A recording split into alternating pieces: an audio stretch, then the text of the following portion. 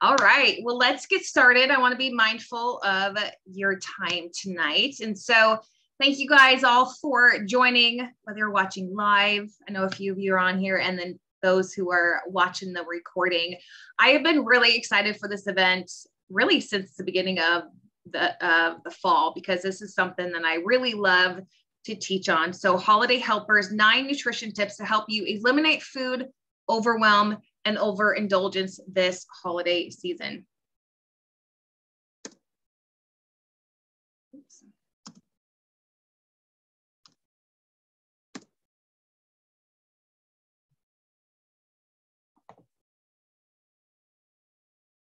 Okay, perfect. There we go. All right. So again, welcome to this this event. Um, and you know, tis the season for all the yummy things that we love. We love sugar cookies and eggnogs and pumpkin pie or pecan pie, whatever one you prefer. And years of after years of learning and figuring out the best ways to maintain my health, my energy, and controlling my cravings, I am super passionate about helping other busy women just like you feel the same during the holidays. So, less focusing on obsessing over the food and more on enjoying the food, the people, and the experience. And so, for the next about 20 minutes through this event, I'm going to be sharing um, my favorite and simple tips that have really worked well for me to maintain my health and wellness during the holidays. And I'm going to be sharing all my secrets and going to teach you all the things when it comes to creating an action plan to help you enjoy this holiday season while also seeing results. And so, because this is what I found out, friends, that you can still feel freaking confident and good during the holidays and still eat cookies or eat whatever without guilt or and we can keep that weight gain at bay. And so that is what I'm really excited to um, teach you tonight. And so all right, let's jump in. So feel free to grab something to take notes on your phone, if you're pen and paper, but also remember, I'm going to be sending you this recording with PDFs too, with all the, the tips on it as well. Okay, so for those who may not know me, I am Jessie Christensen, and yes, I'm a Jesus lover. I'm a crazy aunt. I'm obsessed with my nieces, and nephews. I love coffee and I'm a meal plan coach for busy women. And I just absolutely love helping women create sustainable weight loss through effective meal planning and biblical mindset. And I live for Instagram, it's my jam. So if you are on Instagram, please find me and let's be friends. And then also my website below also has just more about me, what I do, and some um, more things that I offer. All right, let's dive into tip number one. So, if you have worked with me for even a little bit of time or have been on my Facebook community or even Instagram, you know I am all about meal planning tips. And so, tip number one is plan and prepare your meals during the week. And so, as again, you guys all know I'm all about meal planning. However, if this seems a little overwhelming to you, I want you to just take uh, sometime every single evening and just make note of what you have in the house. I mean, th- that is it. Just make note of what foods you have in the in the house. And I want you to really be intentional about mentally planning your meals as you um, kind of write down what you have in the house. Uh, maybe write on a sticky note. I'm going to be sending you a free uh, meal planning template. It's a blank template. So you can actually write out your meal plan or your meals for the week, or even just the foods that you have around the house for the week. So basically, you're I don't want you to go to bed without a plan in place for the next day. And even if that is just writing out what you have in your house for the day. And why is this? Because meal planning or planning and preparing your meals ahead of time really helps you create consistency and helps keep you accountable. And also, um, another thing is when we lack certain nutrients in our diet throughout the week, that can really cause cravings. And so if you're lacking nutrients throughout the week, by the time the weekend comes, when you have those holiday parties and get togethers, we're going to be wanting to crave all the things on the dessert table if we're not intentional about our foods and our meals during the week. So, thoughtfully planning your meals to include specific nutrients can really help decrease your desire to make those um, those non-beneficial food choices during the weekend. Uh, so planning and preparing your meals will also, as you can see on the bullet points, keep you motivated to stay on track, give you the freedom to enjoy the actual holiday, save you time and money. It will clear up confusion that comes up throughout the week. Um, and it will also help you be on your way to feeling, looking, and um, with more energy this holiday season. And again, I am just a firm, firm believer in planning and preparing and setting that time aside to really prepare some simple and nourishing meals that can feed you over multiple days, can really save you time and money, and really save your sanity throughout the holidays. And if you are saying, well, Jessie, I just I want some meals and recipes to help me, then stay tuned because I have a really great Black Friday offer that will help you with meal planning um, throughout the holidays. So, um, so focus also on throughout the week, focusing on lean proteins, fresh vegetables, nuts, seeds, whole grains, um, and really, I think the mindset that I really have during the holidays is really less instead of focusing on the foods that you want to avoid, focus more on incorporating the more beneficial foods. That kind of helps switch that mindset from oh i can't have this to okay what can, what do i want? What can i have throughout the week? All right tip number two is make healthy ingredient substitutions as often as you can. So while there's no arguing that it's easy to get overwhelmed by the food choices this holiday season, right? There's um, so much that, so much, so many opportunities. And the, he, so here are some tips and swaps that I, so having some tips and swaps in your back pocket can help ensure that you really don't stray away too far from your wellness goals in the coming weeks and really help you avoid some overconsumptions of fats and added sugars. And so here are some easy swaps that you can do. And there's tons of them out there, but here are some easy ones. So maybe instead of a um, green bean casserole, you can opt for maybe fresh steamed green beans. Um, it's easy to consume a lot of sugar, as we know, throughout the holidays. So instead of maybe going for a hot chocolate with whipped cream every single night, maybe a couple days a week you can go for like a cinnamon tea. That's a great swap to have. Instead of a glass of wine um, or go for a glass of wine or spritzer instead of maybe eggnog the egg the heavy heavy eggnog.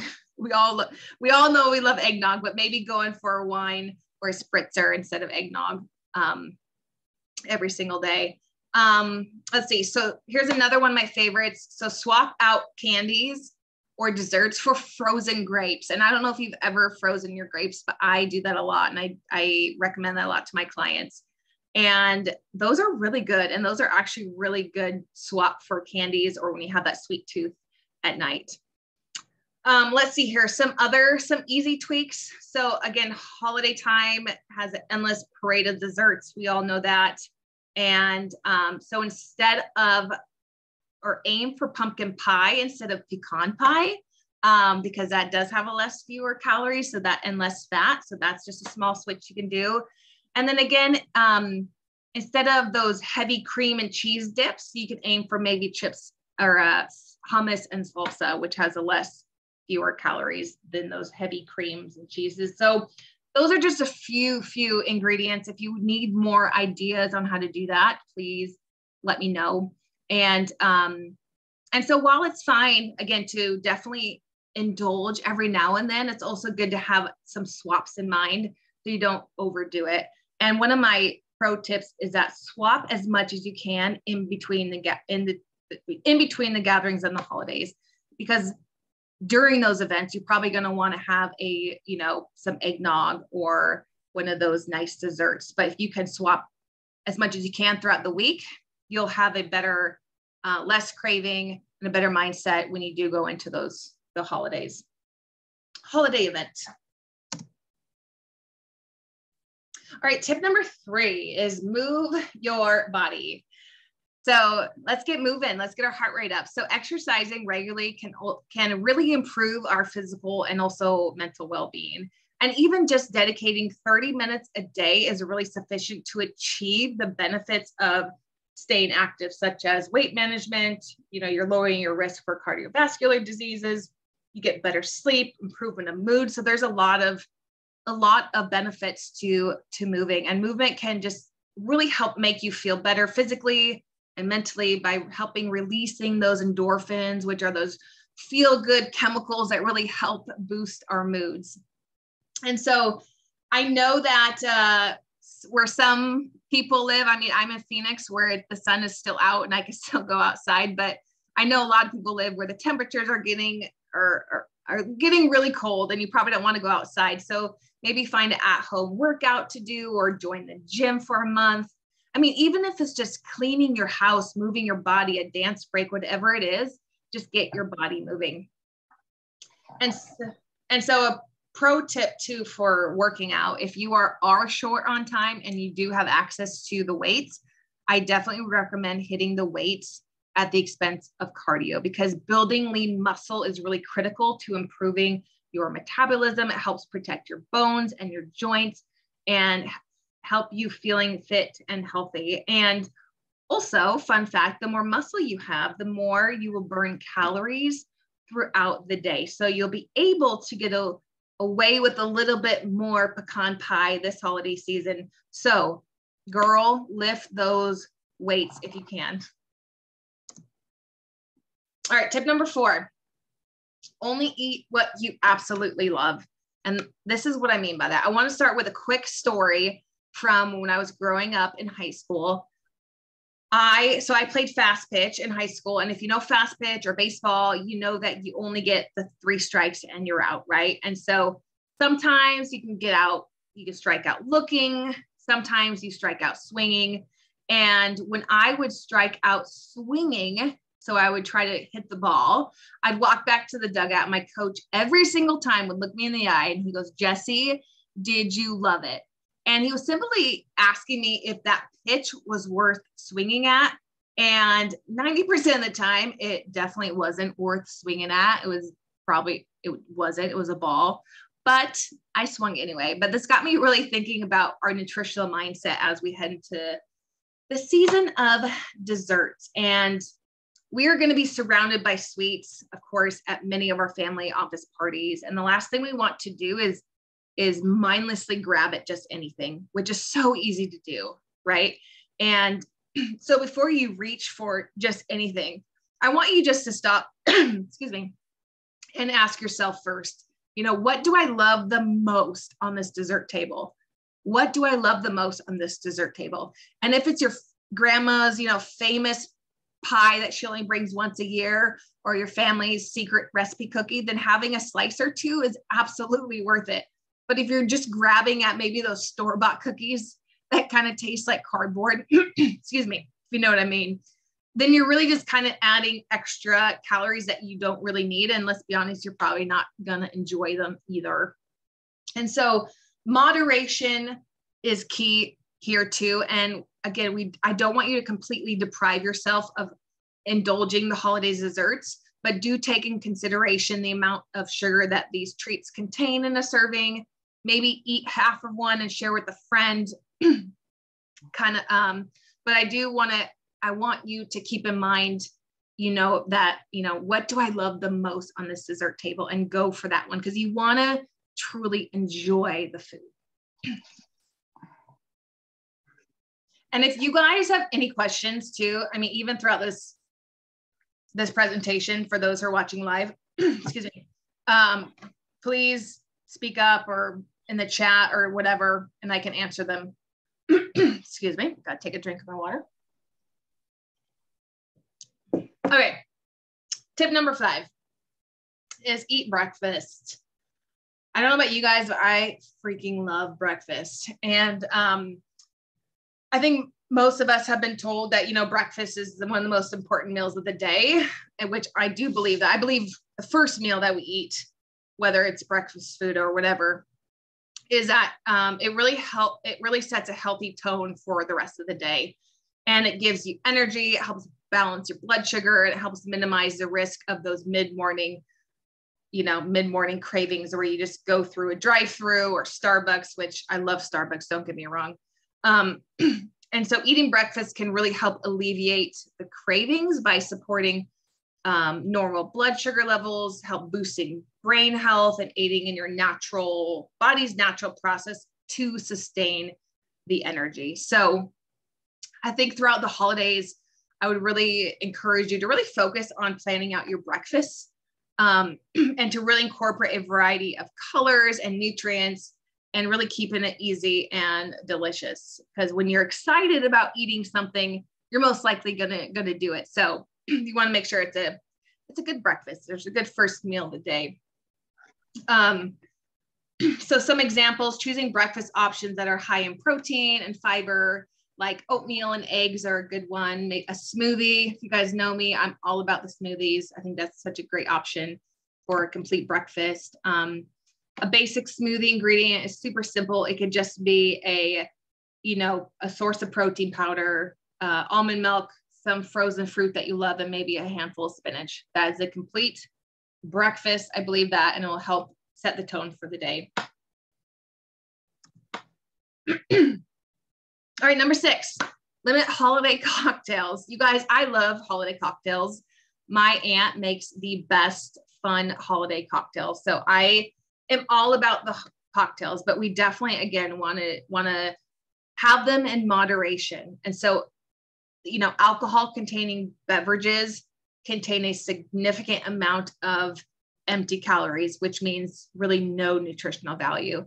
And really they're they're heavy in sugar as well. So it um, recommend drinking water in between cocktails in order to pace yourself and avoid overconsumption's a good one.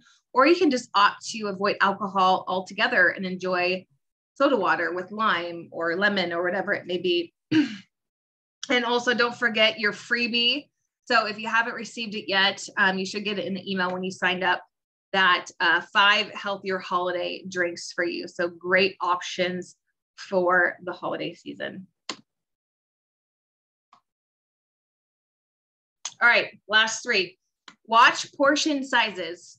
So during this time of year, again, we are surrounded by food more frequently than frequently than any other time of year. I think we can all agree on that. And these office from office parties and family gatherings and holiday gift baskets, they all expose us to an abundance of food. Um, but these options usually consist of very um, high sugar snacks and higher calorie meals. So we want to be definitely more um, aware of just our portions that we're consuming. And so um, a quick rule of thumb or some guides on portion sizes is that the amount of protein in your meal should be about the size of the palm of your hand or about four ounces. Um, I use the palm of my hand a lot for uh, portion sizes when it comes to carbohydrates or protein. You can definitely use the palm of your hand, and that is a good portion for a meal. And so, fruits and veg fruits and vegetables should really count for really half of our plate. I mean, you can never really overconsume on fruits and vegetables. And uh, so I would always recommend aiming for those as much as you can throughout this time to really get those in. And then again, fruits and nuts, and those are great. Um, a good portion would be about um, half a cup or um, half a cup. Yeah, half a cup. That's what I mean. Half a cup of the nuts for you. So that's just a quick, uh, quick guideline on portions and just something to, again, be aware of this time of year. And the last two, so number eight is manage sleep and stress. And so stress can oftentimes be a trigger for cravings, as I'm sure a lot of us maybe experience that. But um, eh, but all again, not all stress is negative. However, prolonged periods of stress can lead to really serious health conditions. Um, and it's been well established and a lot of um, scientific literature that said that stress can also increase consumption of sugary and salty foods um, because of those long periods of stress. And just like stress, sleep can really affect our cravings. So we definitely need to be more intentional about getting sleep this time of year. And so the recommended sleeping time is seven to nine hours per night. And so getting this recommended amount of sleep each night can really help maintain your normal level levels of, of hunger and really help keep those cravings at bay. So managing sleep and stress is a big one this time of year. Okay, and then number nine, one of my favorite tips is be thankful. And last but not least, let's remember to be thankful. So let's try to shift our focus this season on our family and our friends and the fun and not be consumed by the food. And the holidays are just such a special time for us to bond with our loved ones and create lasting memories. And this is such a perfect time to do that. And so let's just take some time this holiday season to really express gratitude for the people around us. And like I have here, the world may feel a little extra heavy lately. And I think we're all just in a little need of of our people and pecan pie and christmas carols and so all those things and so my tip for you is number nine is just um, remember to be grateful and thankful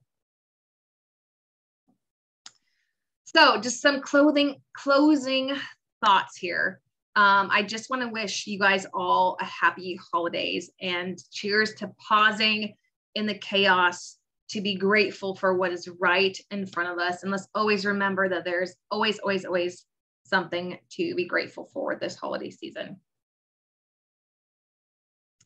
Okay, so so for some next steps, um, because you can get all the information and consume all the information, but if you're not putting that into action, then you're not going to be really making any steps forward. And so I want you to choose just three of these tips that you want to implement into your lifestyle this holiday season. And so I want you to write them down, whether it's on a sticky note or you can even send them to me. I'd love to hear them. But um, I want you to write them down because that's going to help keep you more accountable.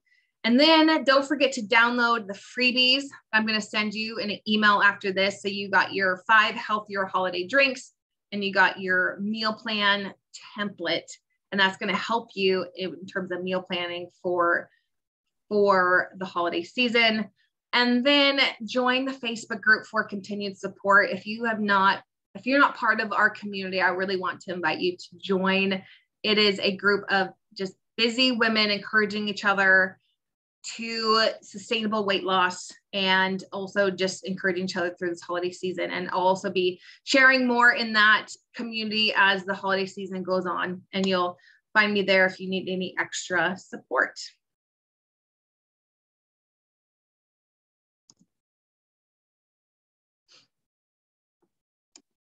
Oh, gotta go back.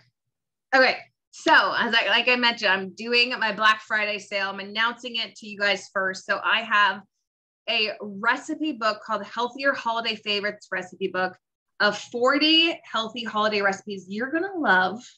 And again, like I said, let's be honest, easy to cook because we don't want something, we don't want to be in the kitchen for hours and hours trying to cook something. But this includes 40 recipes for you. It inclu- includes 10 appetizers, 15 main dishes, 10 side dishes, and five desserts that you can make. So this is a great um, idea for you if you just one need recipes for the holiday just for you yourself to make throughout the week. And two if you want to make something special for your next holiday party um, or event this is a great option for you. And it's only nine dollars for you guys. So i use this code hopefully you can see it holiday helper I'm going to send you the link of the email, or you can go to my website, jessiebchristensen.com, and go to the shop and put in that code, and you can have it for $9.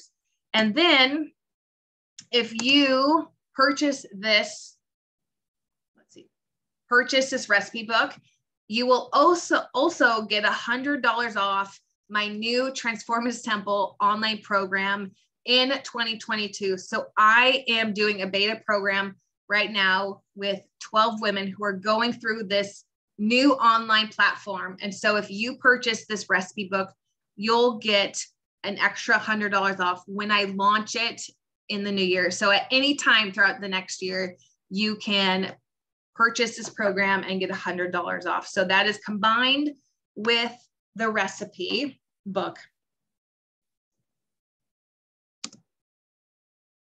Okay.